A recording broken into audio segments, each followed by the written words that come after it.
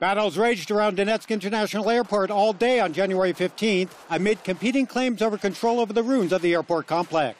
As the battle raged, one of Ukraine's cyborg soldiers spoke to Ukrainian news agency TSN about the situation on the front lines.